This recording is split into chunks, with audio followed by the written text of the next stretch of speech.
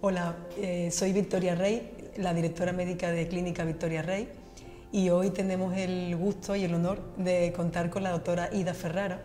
Ella es la directora de la Escuela de Medicina Funcional Italiana, también es la directora de una clínica de fertilidad y ginecología muy importante de Nápoles y colabora con nosotros desde hace muchos años para tratar los problemas de fertilidad y menopausia en nuestra clínica. Y bueno, yo antes de nada, mm, Ida, muchas gracias por estar hoy. Em, antes de nada yo quiero preguntarte que puedas definir de una forma entendible y para, para las pacientes qué es la medicina funcional. Eh, Victoria, muchas gracias, la verdad, por invitarme y siempre agradecida de venir a tu clínica. Ahora hace casi 10 años, sí. un poco, poco menos eh, que yo te conozco y siempre admiro la profesionalidad que tú llevas y la persona que trabajan con tu alrededor tuyo, el cariño que llevan y por eso muy feliz de quedarme aquí, la verdad.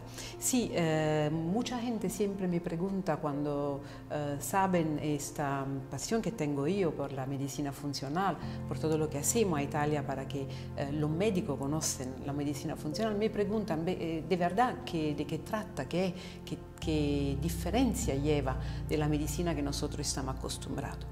Y mm, intento explicarlo, no es tan complicado, es muy interesante, muchas veces la palabra que utilizo son muy pocas para contarlo todo. Eh, si puedo decirlo con poca palabra, es que la medicina funcional pretende de tratar el individuo en su totalidad en el individuo inmerso en el medio, en, el medio ambiente eh, que lo influye.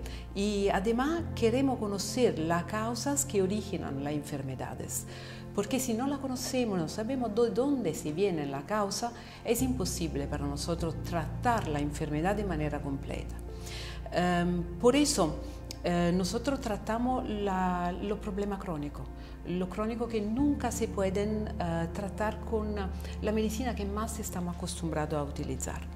Eh, optimizamos para hacer eso la funcionalidad del organismo eh, y dando la, la oportunidad al organismo mismo de tratar, curar la enfermedad de manera más eficiente, eh, a menudo y muchas veces con un costo mucho más bajo de lo que la comunidad está acostumbrada a pagar para curar, para tener cura de la enfermedad crónica. Em, y nosotros, yo pienso, somos las soluciones del paradigma médico convencional. Y en los próximos 10 años se va a escuchar mucho más de esta nueva manera, nueva actitud de enfrentarse con los problemas. De hecho, cada vez hay más, eh, sin, sin, que las, sin que los pacientes puedan ponerle nombre o sepan ponerle nombre, pero cada vez hay una mayor demanda de este tipo de medicina, que no es una medicina natural, no es una, no es una medicina de, de, la época medieval, ni, sino que es una forma de entender la, enfermedad mmm, que hace que mmm, valoremos al paciente, en este caso la paciente, que es lo que más habitualmente nosotros tratamos, aunque los maridos también muchas veces hay que tratarlo, pero los tratamos desde un, punto de vista holístico, que se llama, y, tenemos, que, que, es lo que tú haces en cada paciente que tratas, buscar el origen que dio lugar a la enfermedad crónica que padece o las enfermedades, porque es frecuente que una paciente eh, tenga varios, eh, varias sintomatologías, varias enfermedades, y que al final están todas originadas por una misma causa. El, llegar a esa causa mm, y corregir todas esas enfermedades, esa hipertensión o ese dolor o ese problema intestinal, eh, que no debe ser corregido solo con omeprazol o, o con un antihipertensivo o con eh, una hormona tiroidea, pues llegar al origen de esa enfermedad a la causa, a lo que ha causado toda esa sintomatología, es en lo que se basa la medicina funcional. Sí, eso es una Corrígeme. Medicina, es, Una, es una medicina inteligente, eso es lo que digo yo, y está basada sobre la evidencia científica. Es que la evidencia científica que tenemos hoy es mucho más larga de lo que pudimos tener hace un 20 años. Y mm, nosotros que utilizamos, por ejemplo, en medicina funcional, todo lo que, que es necesario para el paciente. Podemos utilizar un fármaco cuando necesitamos un fármaco, pero muchas veces son integradores, muchas veces son vitaminas, eh, muchas veces son diferentes tipos de fármacos, porque eso va a optimizar la, mm, la base, la funcionalidad del organismo, como explicaba antes.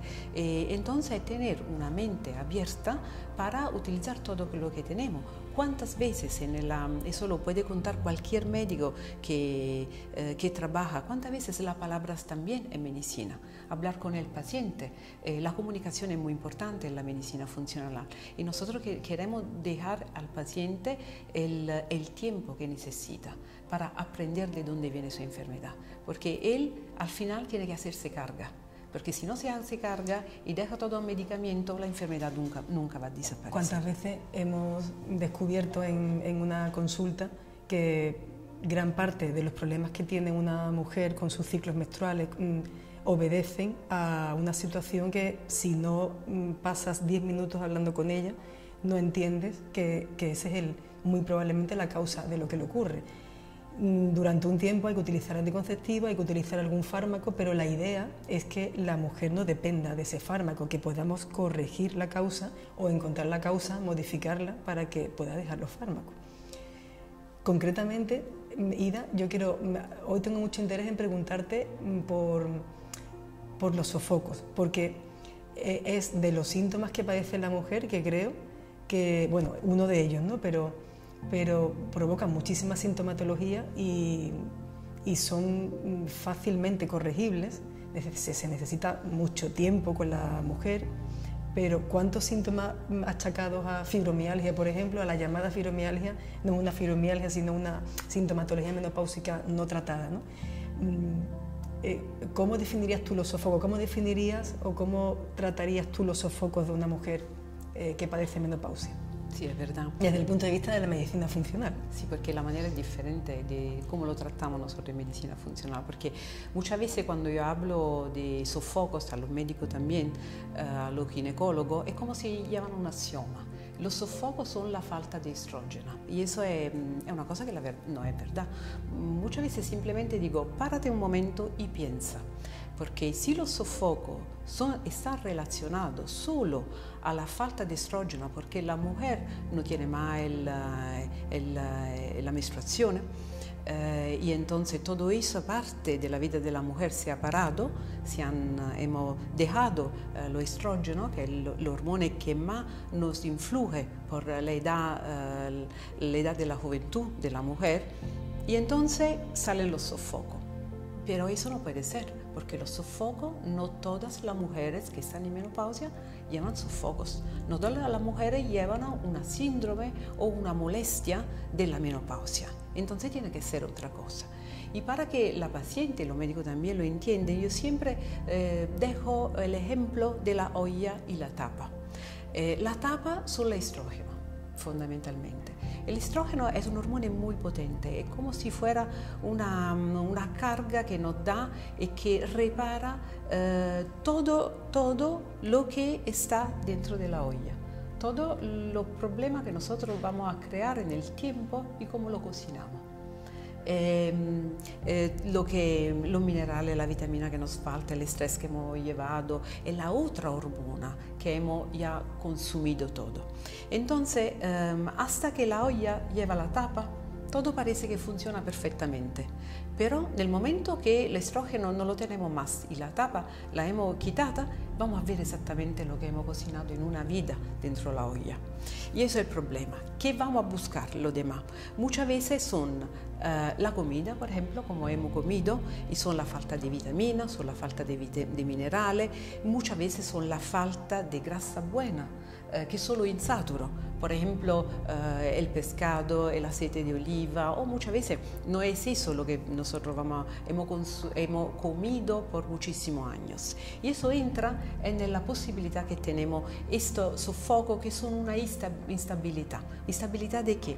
Al final los sofocos son otra hormona, no son el, estrógeno, son cortisolo. Y el cortisolo... que, depende de cómo hayamos vivido el, todo el tiempo antes de antes de que nos falten los estrógenos, dependiendo de cómo tengamos el cuerpo, esa falta de estrógeno nos va a afectar a unas mujeres más que a otras, dependiendo de lo que hayamos cocinado toda esa vida en la que hemos tenido estrógeno. Exactamente, exactamente. Muchas veces, muchas gracias por eh, traducir el italiano mío, que entiendo que... No, no, no, es, una especie como de resumen, no más que traducción. es muy importante. Y estaba hablando del cortisol, perdón que te he interrumpido. La, la hormona más importante al final es el cortisol, no es la estrógeno. Y el cortisol es la hormona que más nos hace falta. Um, en medicina se llama resistencia a la insulina, todo eso.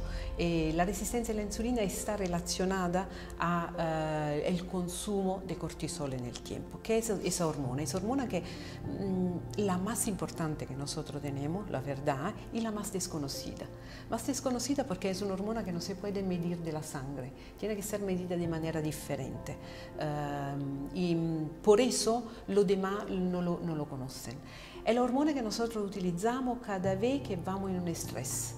Y el estrés puede ser eh, un estrés emotivo, por ejemplo, un estrés para demasiado trabajo, puede ser un estrés simplemente porque tenemos una barriga que no funciona bien, porque para, para el cuerpo todo estrés es lo mismo que sea emotivo, que sea porque estamos tomando medicamentos que nos estresan mucho, uh, puede ser que uh, tenemos, como decía, una barriga que no funciona que no bien, bien, energía, que, no, uh -huh. que no comemos bien. Al final todo va a cargarse con el cortisol. Y cuando el cortisol no funciona más, allí tenemos como no funciona más porque se ha, porque, porque se, ha gastado, se ha gastado. No lo tenemos más. Mm. Allí salen todos los problemas uh, de la mujer en menopausia, que son los sofocos, que son la, uh, la um, incapacidad, por ejemplo, a concentrarse, um, empezamos a olvidarnos palabras, uh, cosas, empezamos a no dormir por la noche, empezamos un cambio también de humor, empezamos a engordarnos especialmente la grasa que nosotros ponemos a la barriga, que es clásica de un cortisol que no está bien, bien medido. Entonces, cada persona, cada paciente lleva un puntito diferente de cómo va a influenciar la, la falta de cortisol. Um, y por eso es importante medir una terapia que sea para, para la mujer, para esta, esta mujer, y no un, una, la misma terapia no va a ser igual por toda la mujer. Es verdad que nosotros podemos hablar de consejo general, general. eso significa ¿Cuáles son, los, ¿Cuáles son los puntos que yo voy a tocar por cada paciente para que mejore su estilo de vida y para que mejore el cortisol? Eso sí, esos son los, puntos son siempre lo mismo, pero la manera de arreglarlo o puede ser que este punto vaya a tener más importancia en una persona este otro punto va a tener más importancia en una persona diferente al final, manera diferente de arreglar siempre el mismo síntoma, que puede ser el sofoco. Eh, y decía, ¿cuáles son estos puntos? Primero tenemos que ayudar el cortisol. El cortisol se viene de una glándula, la glándula se llama el surrene, y si no... Una glándula suprarrenal. Suprarrenal. Si no damos de comer a esta glándula, la glándula no puede, no puede optimizar el cortisol. Y sabemos muchísimo que esta glándula, por ejemplo, necesita muchísima magnesia, necesita Magnesio. muchísima vitamina del grupo B, uh -huh. toda la vitamina del grupo B, muchísima vitamina del grupo C. Eso significa y la grasa buena, la grasa que se sale del pescado, la grasa que se sale del aceite de, de oliva, por ejemplo, eh, de la aceituna. Um, esas son las primeras cosas que una paciente tiene que añadir. ¿Cómo la añade? La añade con un medicamento, con integradores, con un cambio de comida. Además, tenemos que fortalecer esta glándula um, incrementando una otra hormona, que es la testosterona que es otra hormona que muchas veces nosotros no tenemos, que no, la testosterona la mujer la puede producir y da la misma fortaleza que puede dar el estrógeno. El estrógeno. Pero la mujer solo puede producir testosterona con el músculo, entonces tiene que ir al gimnasio, tiene que hacer ejercicio. Y cada persona tiene que hacer el ejercicio que pueda, porque no se puede pretender de una mujer que nunca se ha movido uh, de hacer un ejercicio uh, agonístico. Sí, en, Entonces cada uno lo suyo. En ambos, en ambos ejemplos que pone, la paciente comienza con una serie de suplementos vitamínicos, incluso con, puede tomar testosterona durante un tiempo determinado hasta que su cambio en el hábito de vida y su alimentación y el ejercicio eh, sustituyan eh, ese cortisol o esa testosterona que le hace falta. Sí, sí, eso es. Y mm, otra cosa muy interesante, por ejemplo, añadimos mucho de la mm, medicamento eh, en hierba. Eh, eso también, mira, funciona mejor que los medicamentos. Sí, que una cápsula. Que una, cápsula. Y no tiene, no tiene efecto secundario. Y son mucho en eso también. Y cada vez queremos tomar menos cosas. Porque cada, cada persona necesita lo suyo. Por mm. ejemplo, muchas veces yo puedo utilizar una hierba de San Juan, ah, que sería el hipérico. Uh, en otra persona yo puedo uh, elegir una soja o un trifolio rojo um, o una ashwagandha también. Cada, cada uno de esos lleva un sentido diferente dependiendo de la analítica de la cortisona, uh -huh. por ejemplo. La cosa no es tan sencilla, nunca tenemos una respuesta, una contesta única cuando además tenemos un síntoma único. Esa es la cosa, la cosa rara. La medicina convencional tiene una respuesta por cada síntoma.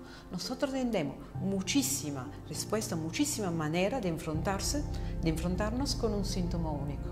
Eso puede ser de verdad la particularidad de la medicina funcional. Y, fíjate que, que antes al, al, inicio decías ahí evidencia científica mucha en, en cuanto al abordaje de, de las patologías en medicina funcional pero es que además todo lo que estás contando tiene mucho sentido mm, en esto que, te digo. Ahora mismo sabemos que la edad de, la menopausia está bajando muchísimo. Antes la edad media de, entrada en la menopausia era los 50, ahora nos encontramos que ya estamos en los 45, que es la edad normal ahora eh, en la que la regla se retira, pero es que nos estamos encontrando con esa resistencia a la insulina que tú decías antes, que era vital para que la falta de estrógeno nos afecte en mayor intensidad y, efectivamente, cuántas resistencias a la insulina nos encontramos en las analíticas de mujeres muy jóvenes a día de hoy, que no tienen por qué tener diabetes, ni siquiera obesidad, como antes era muy...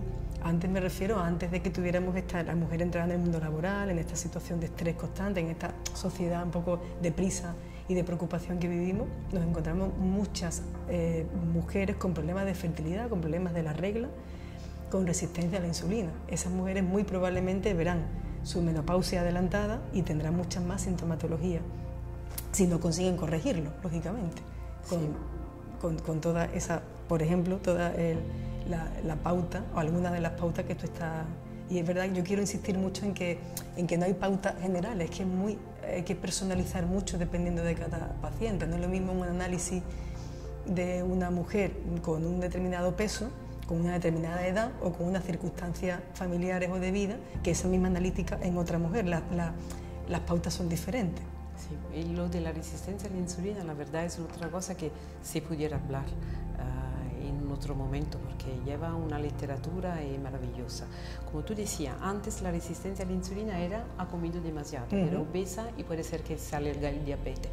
Hoy nosotros sabemos que la resistencia a la insulina depende muchísimo del tipo y del medio ambiente donde vivimos.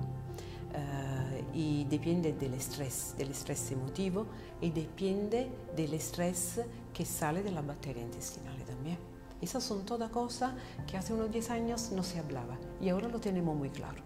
Eh, siempre digo, mira, mm, ¿por qué tiene gente que se come todo lo que quiera y nunca engorda? Y tiene gente que se bebe un vaso de agua y engorda. Entonces el problema no es la cantidad de comida, es todo eso. Y eso lo vamos, ¿por qué no? Lo vamos a decir. Sin duda. Vamos a hablar de eso en otro. Tendríamos que hablar de microbioma intestinal, de ese cerebro real, que no es el cerebro que llevamos encima del cuerpo. Eh, en fin, pues yo no sabes lo que te agradezco, toda esta, toda esta conversación que es mm, hermosa. Muchas gracias, Muchas gracias. Muchas gracias. Espero que me inviten otra vez por eso. Por supuesto. Seguimos con, el, por supuesto. con la resistencia a la insulina. Se va a abrir un mundo. Pues así haremos. Muchas, Muchas gracias.